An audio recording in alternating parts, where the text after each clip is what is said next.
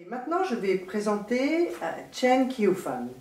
Il signe également ses œuvres sous le nom de plume de Stanley Chan. C'est un auteur chinois de science-fiction, ou plus précisément de romans d'anticipation. Ses livres ont été primés à de nombreuses reprises. Il est également traducteur, producteur artistique et conservateur.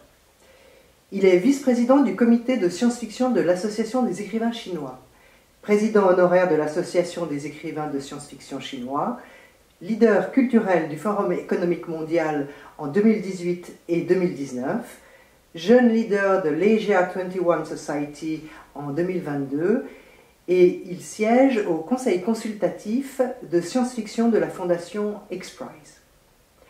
Parmi ses œuvres, citons le roman Waste Tide, paru en anglais chez Tor Book en 2019 et qui paraîtra en français en octobre prochain chez Rivage sous le titre L'île de Silicium.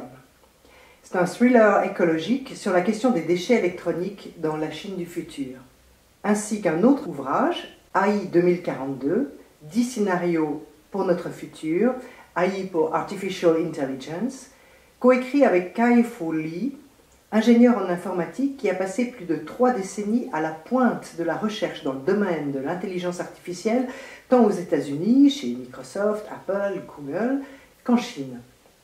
Ce livre paraîtra également dans sa traduction française en octobre prochain aux éditions Les Arènes.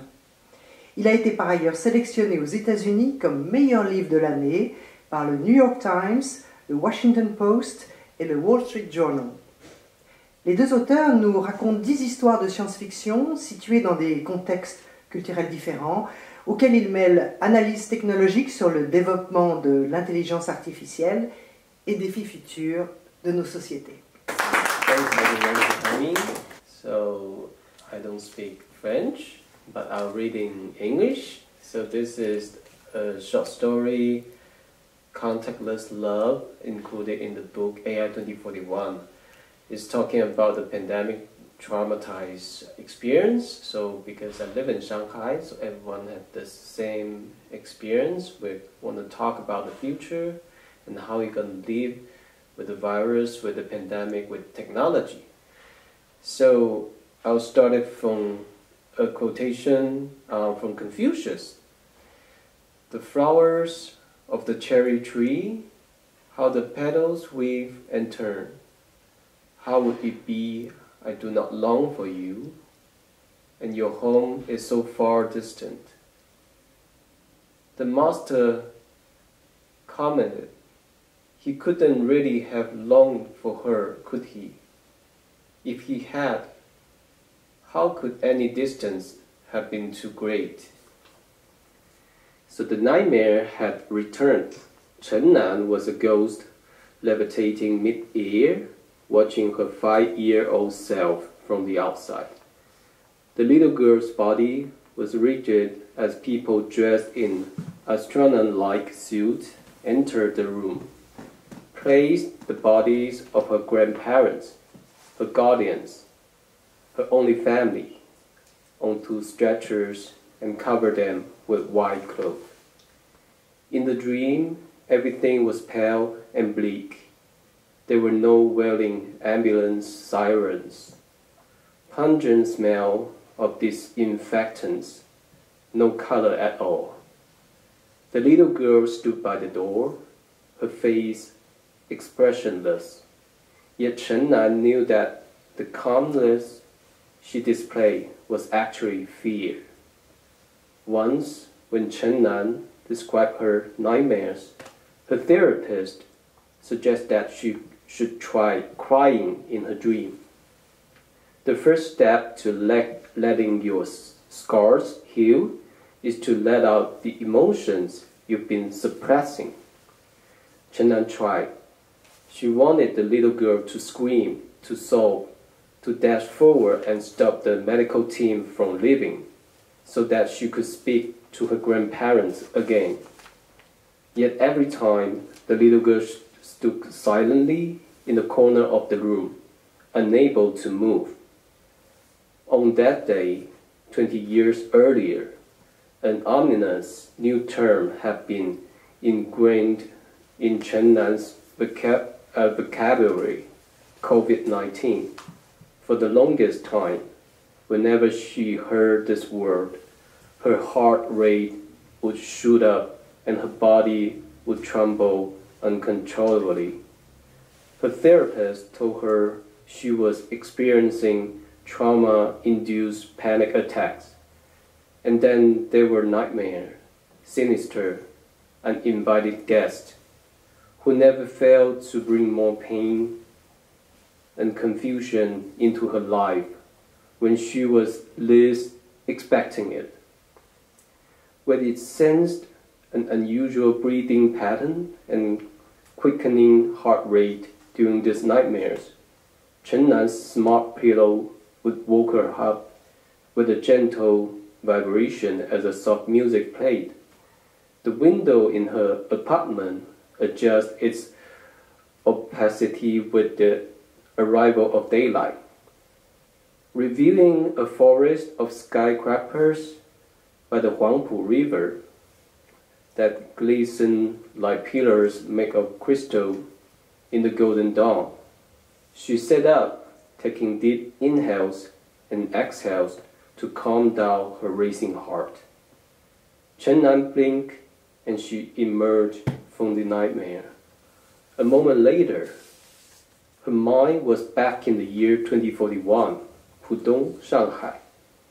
As usual, the delivery bots, resembling an extra large version of R2-D2, dropped her package off at her door's mail station. The disinfection box, with its long and thin mechanical arms shaped like a spider crab, strip away the package wrapping and spray the package via the nozzle on its midsection. Before moving the package into her apartment, meanwhile, the air filtration system was humming at full force. Its nano superfilter intercepting impurities from large-sized dust particles to the coronavirus with its diameter of just 0.06 to 0.14 microns. Chen Nan walked from the bedroom into her bathroom, carelessly reaching for her toothbrush. The mirror in her bathroom displayed indoor air quality alongside live pandemic cases update of various major cities around the globe. The lines of number and words unfolding, rolling and refolding in the correspondence to the trajectory of her gaze, so that the display wouldn't affect her wash-up routine. Since its first arrival in the human population in 2019, the coronavirus has evolved into a seasonal outbreak. In response, humans has gradually evolved their lifestyle, tailoring routines and customs to be COVID era. The first and palm salute, first popularized in China, in which a person greets another by pressing their left palm to the right fist and nodding, had replaced handshaking as a dominant global greeting. Back in the day when Chen Nan would still manage to get herself out of her apartment, she made sure to check the health tracker status of every place she went, down to the exact street and living compound. A green check means safe. A red cross indicated a positive case, and a yellow circle signaled caution. A symptomatic virus carrier could be present.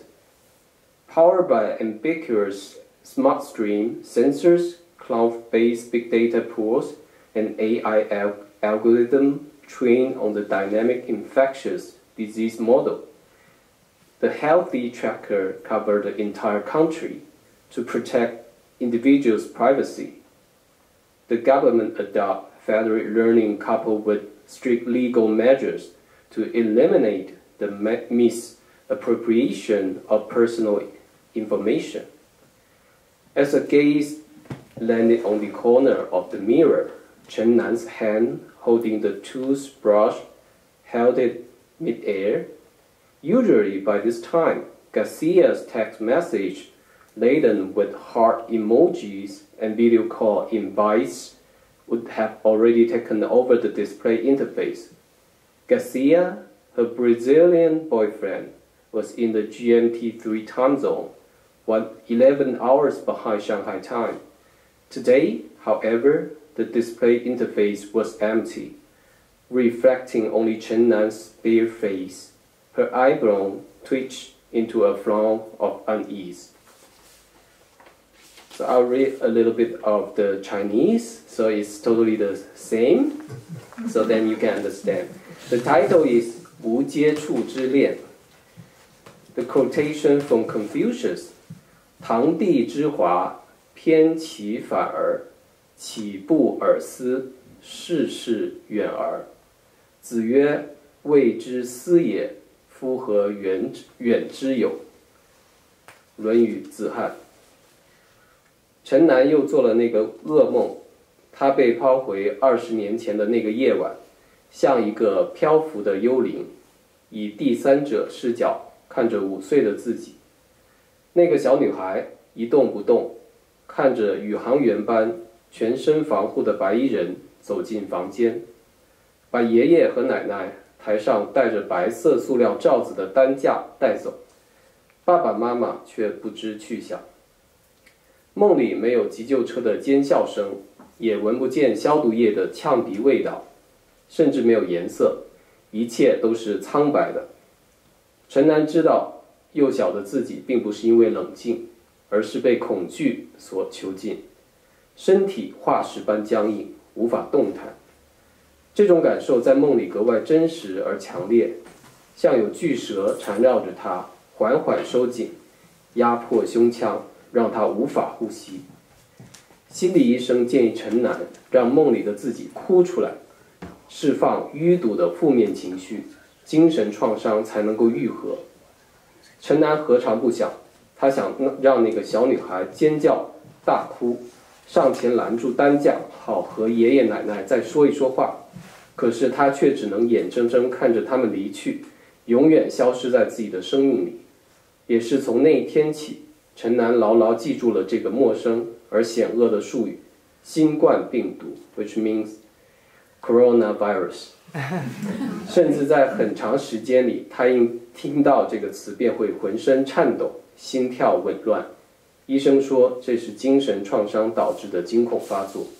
还有噩梦，像不请自来的客人，总会在毫无防备的时候扰乱他的生活。智能枕头。监测到陈楠睡眠中异常的呼吸和心率，便用轻柔震动和音乐将他唤醒。